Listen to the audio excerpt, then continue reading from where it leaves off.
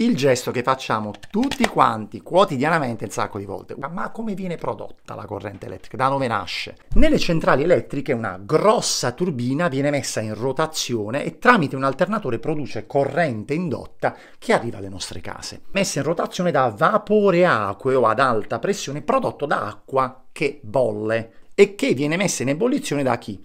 Da fonti non rinnovabili. Bruciamo il carbone, bruciamo il gas e allora facciamola ruotare utilizzando l'energia geotermica, cioè il vapore prodotto dalle viscere della nostra terra, oppure dalle cascate d'acqua, oppure l'energia del vento, no? le pale eoliche, insomma tutte fonti rinnovabili. Ed in futuro questa energia pulita potrà essere sempre più utilizzata per fare cose che ora facciamo sfruttando e bruciando gas e in questo sta il concetto di elettrificazione. Pensate a cottura su piastre ad induzione anziché fornelli a gas.